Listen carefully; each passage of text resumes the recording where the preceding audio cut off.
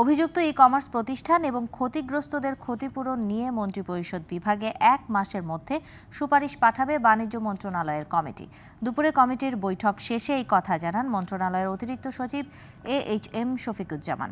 E commerce প্রতিষ্ঠানগুলোর তদারকি এবং ই কমার্স প্রতিষ্ঠানের অনৈতিক ব্যবসার প্রতারিত ভোক্তার অধিকার সুরক্ষার বিষয়ে করণীয় নির্ধারণে মন্ত্রিপরিষদ বিভাগ গঠিত কমিটির প্রথম সভা অনুষ্ঠিত হয় আজ।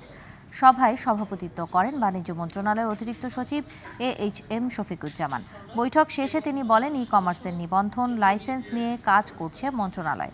গ্রাহকদের ক্ষতির পুনরাবৃত্তি রোধে সরকার সচেষ্ট রয়েছে বলে জানান সচিব।